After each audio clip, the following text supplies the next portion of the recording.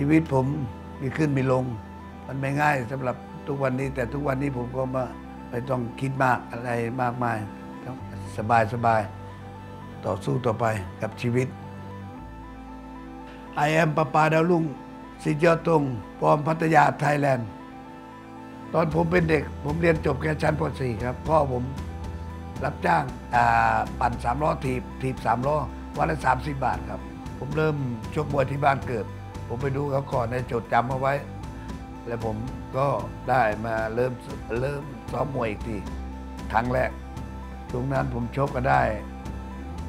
200 300 บาทก็ถือว่าเยอะ เงินที่ผมได้มาจากการชกมวยร้อยสองร้อยผมก็ให้พ่อกับแม่ และให้น้องน้องสาวกับน้องชายเป็นโรงเรียนจนเราได้จบม .3 ผมชกมวยครั้งแรกชนะผมจำได้ว่า ชนะน้องยกสี่ได้ค่าตัว 80 บาท เจ็บตัวที่สุดครับพอผมย้ายเข้าไปกรุงเทพตอนผมไม่รู้เรื่องก็ใช้ผมล้างรถล้างจานล้างอะไรทุกอย่าง ตกตอนเย็นมาผมก็ไปซ้อมมวยเพราะอยากเป็นมวยไทยและผมก็ได้เดินทางเข้ากรุงเทพ ผมก็ได้มีสิทธิ์ มีโอกาสได้ชกลุมพินี stadium อยู่ ชกประมาณลุมพินีราชดำเนินสิบครั้ง ผมชนะหกผมจำได้ชนะหกครั้งแพ้สี่ครั้ง ผมรู้คือว่าผมไม่ได้เป็นแชมเปี้ยน แต่ก็ผมดีใจที่ทำให้คนได้เป็นแชมเปี้ยนลุมพินีราชดำเนินได้ครับทุกวันนี้ผมยังจดจำเอาไว้ ที่ผมเจอครูยศธงครั้งแรก ที่เวทีมวยพัทยาเหนือเพราะครูก็เป็นคนดังแห่งวงการมวยภาค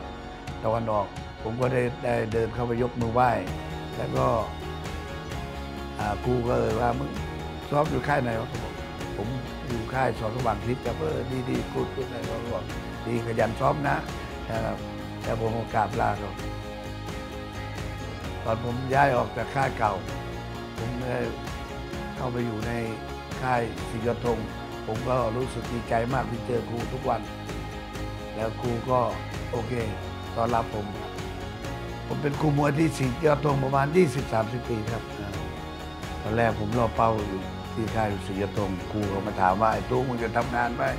อาคืนถามครับครูผมดีใจครับถ้าได้งานทำก็โอเค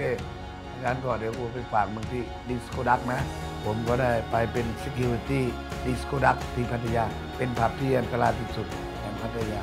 ตอนที่ผมเป็น Security Disco Duck ผมดีใจที่ตอนนั้นเบิร์ดธงชัยเขานักร้องที่ชื่อดัง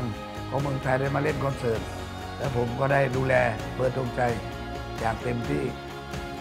ผู้ยอดธงสอนผมว่ากับบทเรียนชีวิตนี่หนึ่งให้เก็บเงินและอย่ายุ่งเกี่ยวกับยาเสพติด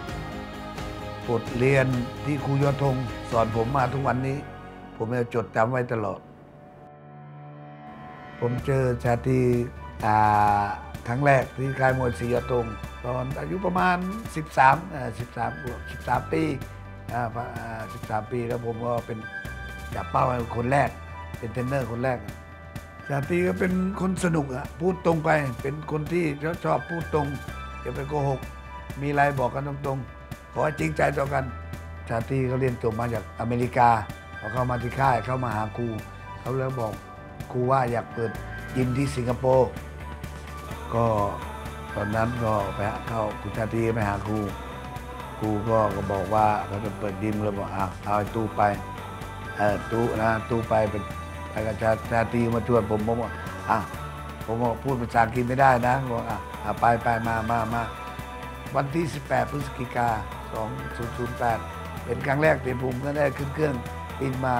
จากเมืองแรกมาสิงคโปร์ครั้งแรกในชีวิตครับผมผมขึ้นเครื่องบินครั้งแรก ผมรู้สึกสั่นและกลัวมากชาตรีก็บอกว่าไม่เป็นไรไม่เป็นไรไม่เป็นไร สั่นอย่างนี้เลยนะตอนนั้นผมมา